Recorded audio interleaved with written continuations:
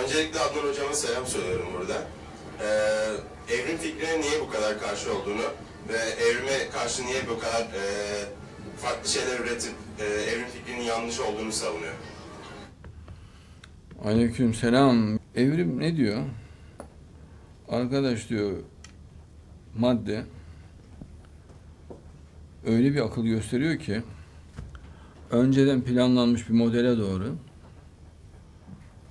katrilyonlarca akıllı hareket yapıyor ama bundan tesadüfen olduğunu biz biliyoruz diyor. Tesadüfler sonucu milyonlarca akılcı hareket. Mesela bir hücre oluyor. Bir hücre daha ekliyor, bir hücre daha. Ee, insanın iskelet sistemini yapıyor bu. Sinir sistemini yapıyor. Beyin sistemini yapıyor. Uzun yıllar içerisinde ama sabırla ve mükemmele doğru. Ve muazzam güzel bir şey mi çıkarıyor? Gören, duyan, işiten, koklayan bir şey yapıyor. Nasıl oluyor? Tesadüfler sonucu oluyor. Bunun bilimle ne alakası var? Çünkü bak evrim dese ki ya bizim bilemediğimiz bir şekilde açıklayamayacağımız bir akılla bu oluyor dese eh deriz adam ya böyle düşünüyor olabilir deriz. Yani bir, bir güç ya bir şey. Ama tesadüf diyorsun.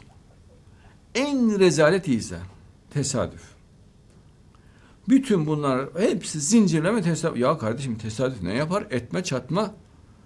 Alalım bir avuç kumu atalım yere. Dağılır gider. Orada İstiklal Marşı yazmaz attın mı? Dalga geçer gibi zekamızdan. Kofulun yapısını görürsün. Mitokondrinin yapısını görürsün. Kromozomun yapısı. Ya kardeşim dantel gibi. Bir proteinin tesadüfen olması bilimsel olarak mümkün değil. Bir protein olması için başka bir proteine ihtiyaç var.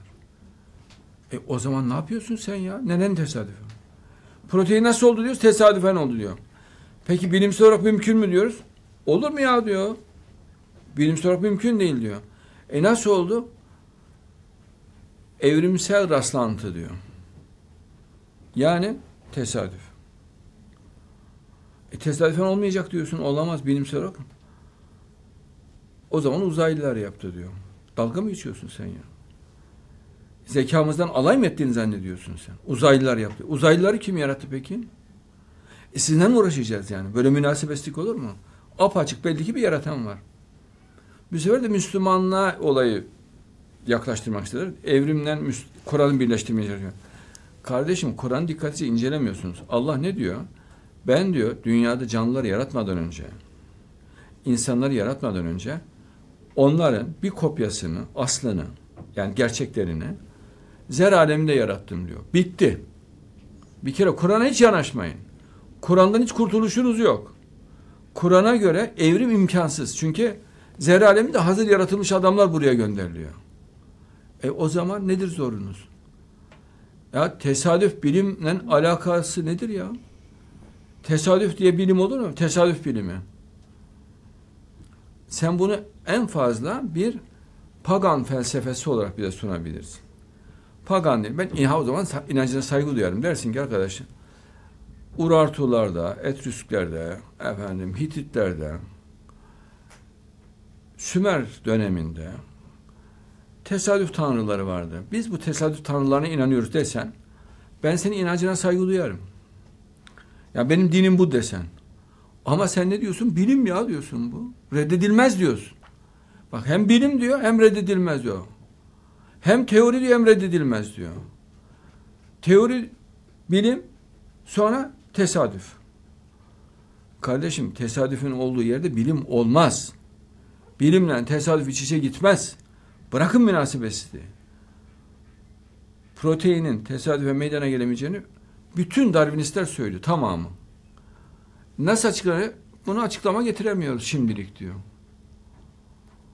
E ben de şimdilik senin teorini kabul etmiyorum mu diyeceğim yani sana.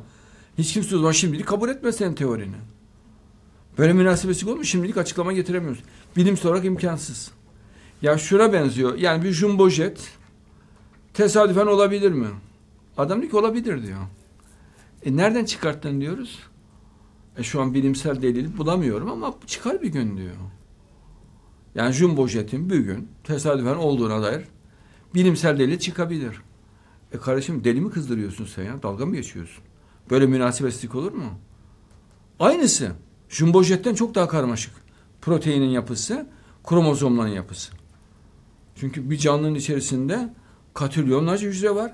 Katrilyonlarca hücrenin içinde katrilyonlarca atomdan oluşan katrilyonlarca karmaşık harf sistemleri var. Ansiklopedi gibi. E nereye inkar ediyorsunuz ya? Bırakın bu oyunu. Darwinizm diye bir şey kalmadı. Bu oyun bitti. Göz diyor böyle görüyor. Ya göz tamam görüyor. Beynin içinde gözsüz gören kim? O Darwinizmin alanına girmez beyefendi diyor. Ya asıl insan o. Asıl gören o. Asıl gözü açıklayamıyorsun sen. O diyor Darwinizmin ilgi alanına girmez diyor. Görme, asıl beyinde görme olayını. Beyinde gören kim diyoruz. Yani bu görme nasıl oluyor? Onu açık bilim dışı bu diyor. Metafizik diyor. Onu açıklayamayız diyor. Peki duyma, duyan kim diyoruz beynin içinde? O da metafizik efendim diyor. Onu açıklayamayız. Dokunan kim diyoruz? Beynin içinde hissediliyor. Dokunmayı duyan kim? Onu da açıklayamayız diyor. Şimdi ben buna bir cevap veririm de canlı yayında olmaz yani. Bu çok kızdırıcı. Alay ne diyorsun sen ya? Efendim? Richard Dawkins'e soruyorlar mutasyona bir örnek verebilir misiniz diye. Hı. Profesör Dawkins, bizde genetik yapıdaki bilgiyi artıran bir genetik mutasyon ya da evrimsel süreç örneği verebilir misiniz?